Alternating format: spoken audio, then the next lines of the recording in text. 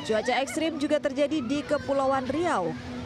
Kanopi tempat berjualan pedagang di sekitar kawasan Tiban, Kota Batam roboh selasa malam. Angin kencang juga merusak lapak pedagang di sejumlah wilayah di Tanjung Pinang dan Bintan. Kepala BPBD Provinsi Riau menyebut kondisi cuaca ekstrim sudah disampaikan oleh BMKG dan diperkirakan akan terjadi hingga beberapa hari ke depan.